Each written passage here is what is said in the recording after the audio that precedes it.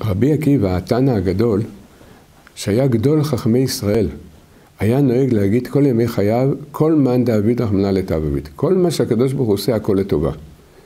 רבי עקיבא מלמד אותנו לימוד גדול, שהעבודה שלנו בחיים, ביסוד האמונה זה כל הזמן לחפש, ואם אנחנו מבינים את זה, מה טוב. אם אנחנו לא מבינים, אז להאמין שכל מה שהקדוש ברוך הוא עושה בעולם, הן בכללות העולם, הן בכללות עם ישראל והן באופן פרטי עם כל אחד ואחד מאיתנו, הכל זה לטובתנו הנצחית.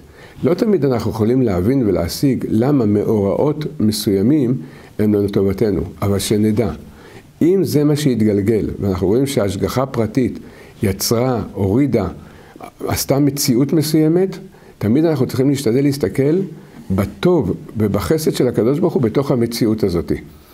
וכמו שאמרנו, לא תמיד אנחנו יכולים להבין איך דבר כזה יכול להיות טוב, אבל כשאנחנו לא מבינים, אנחנו צריכים להאמין. אף על פי שאני לא מבין למה זה לטובה, אבל ודאי שהקדוש ברוך הוא עשה את כל זה לטובה. להקדשת השיעורים של הרב להצלחה, לזיווג, שלום בית, רפואה, לעילוי נשמת. התרומה עבור עזרה להפצת התורה. ניתן לפנות לטלפון 02-650-2929. תודה רבה ותזכו למצוות.